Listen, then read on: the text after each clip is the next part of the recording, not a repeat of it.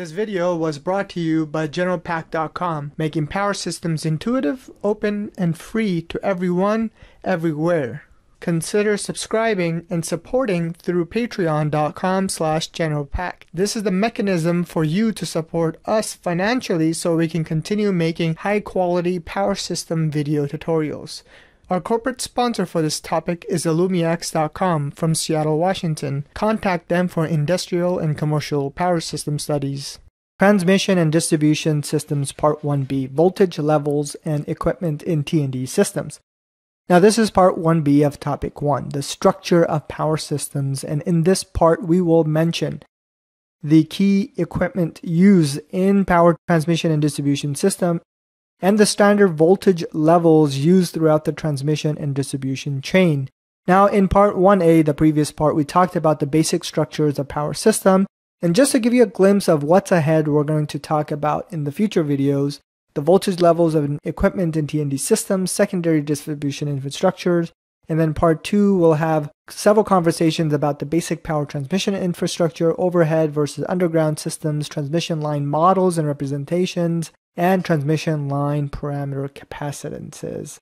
Now, continuing on with this part, a worldwide international standard or a set of rules for electrical power systems do not exist.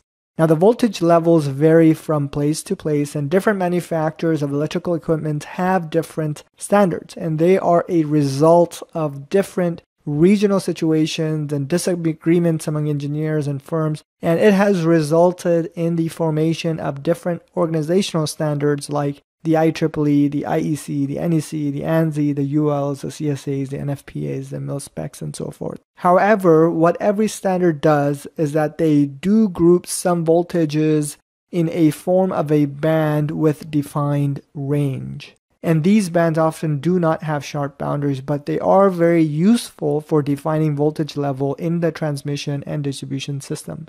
We will follow two most widely used standards in this video, which are the American standard with 60 Hz and the European standard with 50 Hz frequency of voltage cycles. Now, the voltage levels for which electricity is generated depends on plant capacity, generator specifications, and type of energy resources.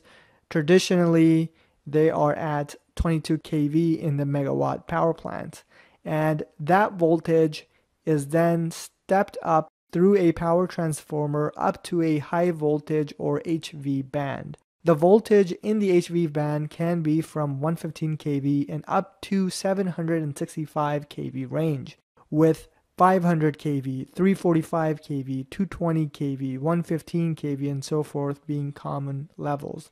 Now, transmission lines then carry this voltage towards subtransmission lines, and any voltage above 800 kV is known as ultra high voltage, and it is only used in select places in the world for transmission over very long distances.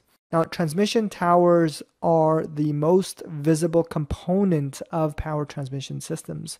High voltage lines require separation from each other and their surroundings. Transmission towers perform its function by providing structural strength and insulation, damping lines oscillations, keeping lines high above the ground, maintaining space among the lines and from other structures so that their electromotive force effect on the surrounding could be minimized and faults can be prevented. And we will cover this in more detail in the later videos. Now, the transmission system then steps down in the sub-transmission system. In the subtransmission system, the voltage levels are stepped down to 132 kV, 66 kV, 33 kV, and so forth for the European system and 69 kV and 26 kV for the American system. Now, the subtransmission system deliver electricity to further downstream grid station in the network and to very few heavy industrial consumers that operate their own grid stations.